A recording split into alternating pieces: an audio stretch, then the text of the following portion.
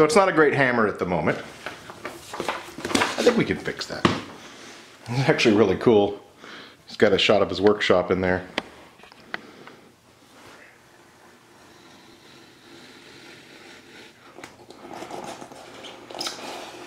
So I'm going to take the cover and the first page and we'll put those aside. So what we have here, 310 pages of paper. Paper is soft, but if we add resin, we make a really cool substance called micarta, and it is extremely hard. But we're gonna have to put resin on every single page. Let me get started by mixing up the resin. Today I'm using ArtResin. This is usually my go-to resin for making micarta, and that is for one reason, which is that I've got 45 minutes of open time. So that means after mixing, I have 45 minutes before it begins to harden. So I'm going to start with 20 ounces. This is one to one, so that's 10 ounces of resin and 10 ounces of hardener. For better or for worse, it is actually 93 degrees in the shop today, which means that the resin is happy, while I am not so happy. It does make working with resin a little easier. It flows better, it works better, it mixes better, and I sweat like crazy. The last time I did this, I tried lots of different methods from dipping to soaking to pouring it on, and at the end of the day, the best method was to just brush it on a page and move on to the next one. And that's what I'm gonna do today.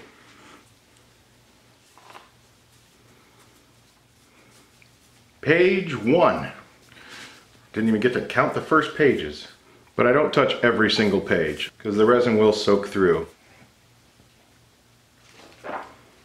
Hey! Chapter four. We're making progress! oh, I've only got 67 pages. this is gonna take forever. I'm starting to remember why it's been three or four years since I've done my last book micarta. This is crazy. And I've already used half of the resin. And we are not even a third of the way done. So we're gonna have to mix up some more resin, I betcha.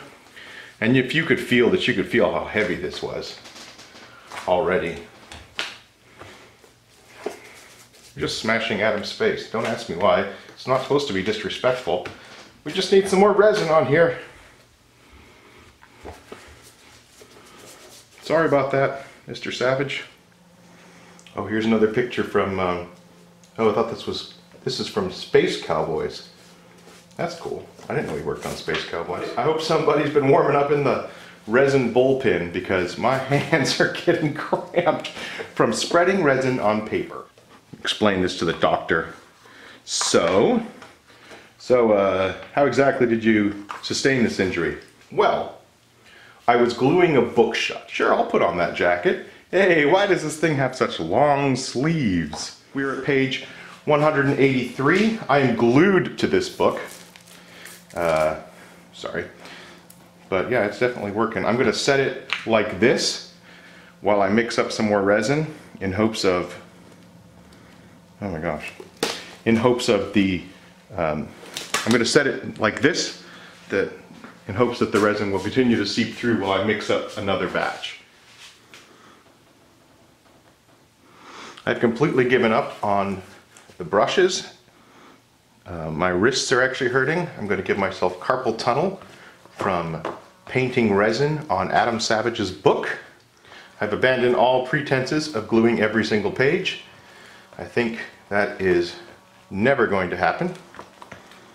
This book is soaked with over 20 ounces of resin. I'm doing about every six or seven pages now. This method is not the neat method. It might be the most effective.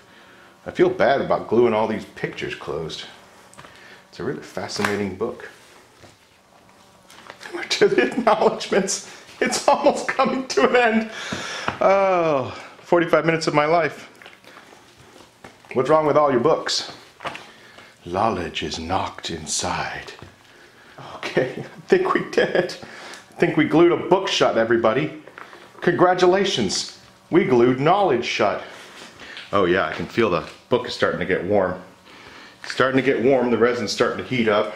You can see the book is swollen with resin. I would say that there's about 25 to 30 ounces of resin in there. This resin can take up to five days to cure. In such tight quarters here as a book, I think it'll be done in a day or so.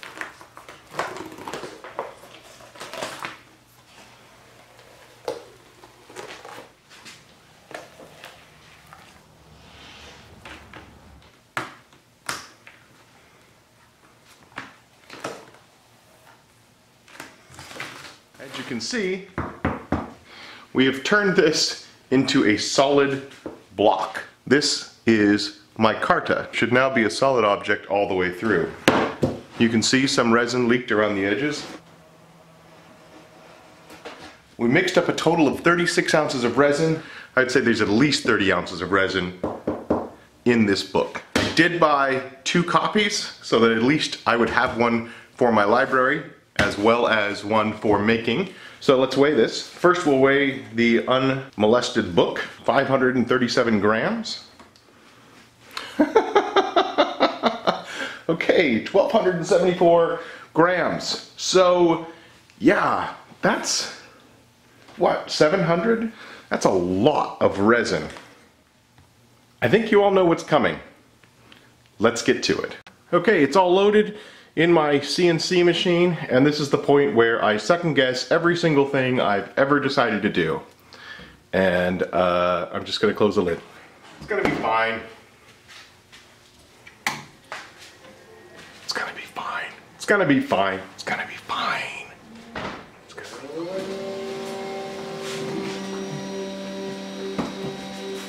Gonna...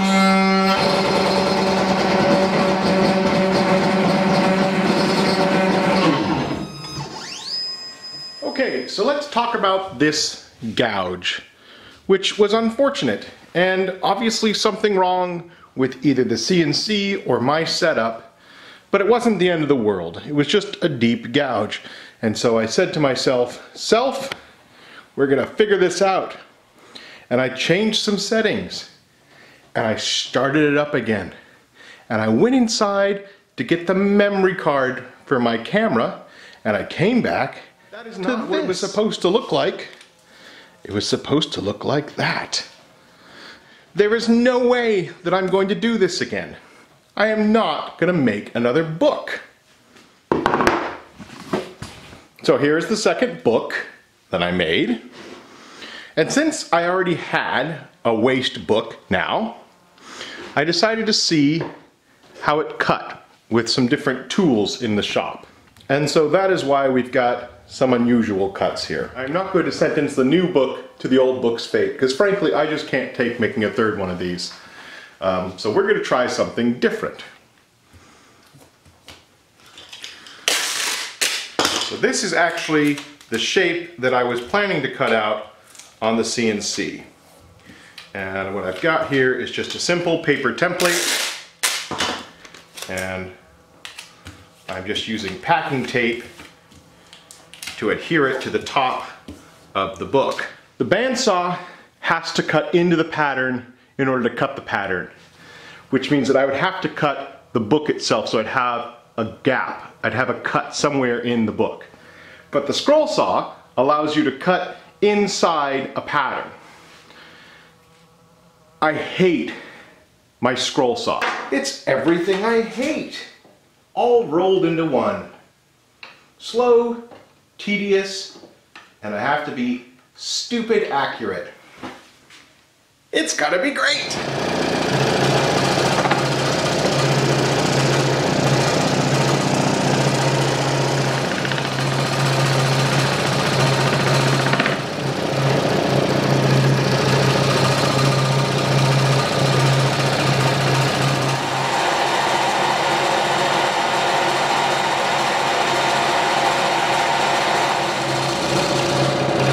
got to figure out what's wrong with my CNC. This is no fun at all. It's like jumping all over the place. Is that part of the enjoyment of this? It's like trying to hold down a kangaroo. For those of you wondering, this is what my scroll sawing skill looks like. So I'm going to um, I'm gonna go hit the sander.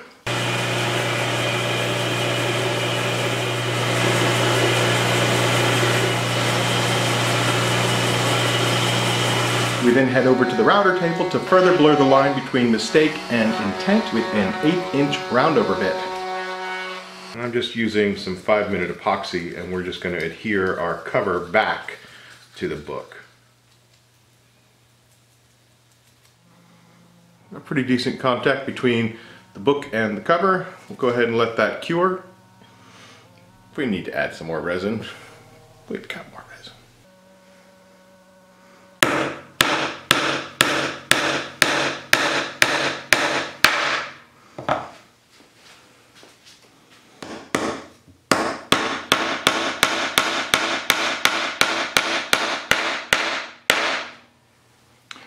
Micarta is an incredibly hard substance and you can turn a book into a hammer. There's the face of it. I don't even see any damage. I guess I should start off by apologizing to Adam Savage for encasing two of his books in solid resin. Though if anyone can appreciate turning a book into a hammer, I'm guessing it's him. This is so cool. I've made book my micarta before I made it into a tablet stand. But I've never tried to cut a pattern on it. I'm pretty sure I had the depth setting wrong on the CNC and the material is just so incredibly hard that it was trying to take too big a bite and that was, that was my problem. And honestly, cutting an inch thick micarta on the scroll saw, uh, it was hard. And I, I really, really, I really hate the scroll saw. What's fun about micarta, it's obviously got a ton of weight to it. The other thing that's really interesting about it is the pattern that you see on it. Because every single page is different, whether it's got pictures or writing, but they're all uniform in the fact that they all have the correct spacing and everything else. So when you're looking at the blank, there's this uniformity of chaos. And I really like the way that that looks. Um, and and it's actually a functional hammer. I, I mean, it works. Since the first one failed, I now have some material I could use for, I don't know, maybe turning stock or some other project. If you have ideas as to how to use this other piece of my micarta, the book had come out, I've been following Adam for a long time. I was a huge Mythbusters fan. I've been watching Tested for a long time. And so when the book came out, it was absolutely on the front of my list for things to do. And of course, I would love for Adam to see this video. That would make me happy. If he wanted it, I'd be happy to give it to him. Uh, I'm not sure if either of those things are going to happen, but it was really fun to make. I, love the process and the material that is my micarta. I hope you enjoyed going through the process with me. And if you have any scroll saw tips for me, you can keep them, because I ain't using that stupid thing anymore. Thank you very much for watching. I will catch you guys next time.